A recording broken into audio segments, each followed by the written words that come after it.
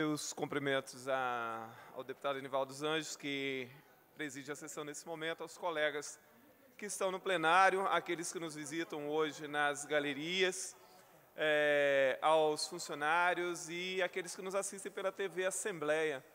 Salvo engano, parte das pessoas que estão hoje no plenário são ligados ao movimento sindical dos motoristas e cobradores da, daqui da região da Grande Vitória e que estão aqui em defesa de uma causa muito justa e esperamos que, assim como aconteceu ontem, que os deputados hoje também derrubem o veto, porque seria algo extremamente justo para com essa categoria.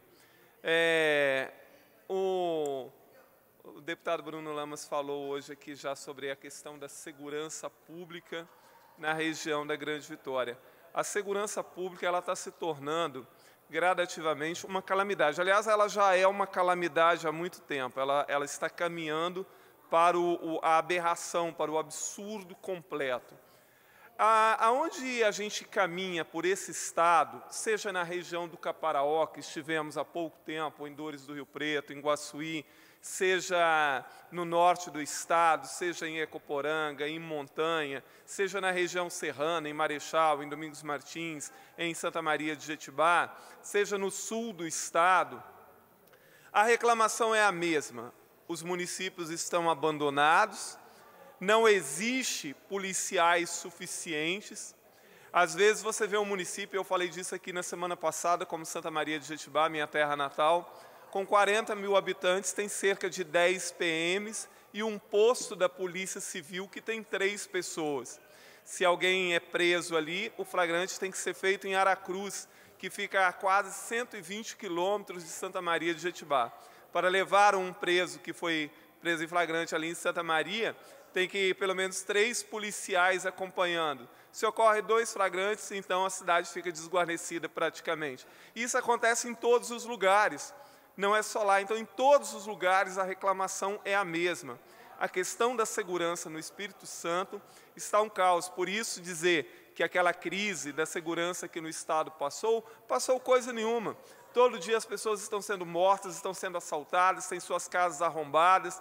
E agora, isso que era algo muito típico da região metropolitana, está se tornando comum nas cidades do interior e no campo é assim o tempo inteiro, nas zonas rurais dos municípios do interior, casas estão sendo arrombadas, carros estão sendo roubados, caminhões, tratores, e as pessoas não têm a quem recorrer. Eu acho que eu narrei aqui uma situação que ocorreu justamente ali em Santa Maria de Jetibá, em que a, uma família havia saído no final de semana, então a, as pessoas arrombaram lá a propriedade, roubaram uma 608, colocaram um microtrator em cima desse carro, é, arrombaram a casa, levaram TV, é, computador, etc.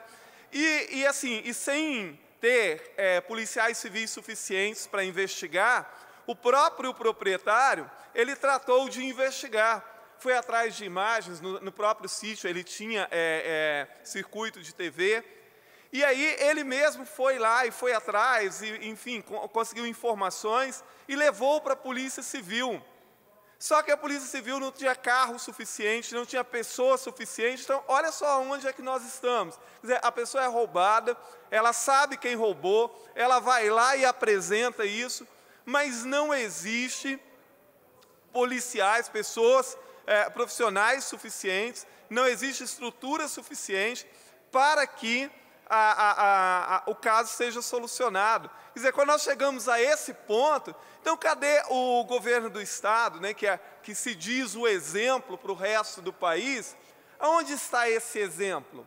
Se o que nós vemos aqui no Estado é o tempo inteiro a segurança se degradando a cada dia, os hospitais públicos estaduais são um caos, a farmácia popular no centro da cidade, em Vila Velha, é um absurdo, a questão das escolas, então, que já, já falo disso o tempo inteiro, 42 escolas fechadas, 61 mil jovens de 4 a 17 anos fora da escola, ou seja, o Estado do Espírito Santo, infelizmente, é, está entregue. Muito obrigado, presidente.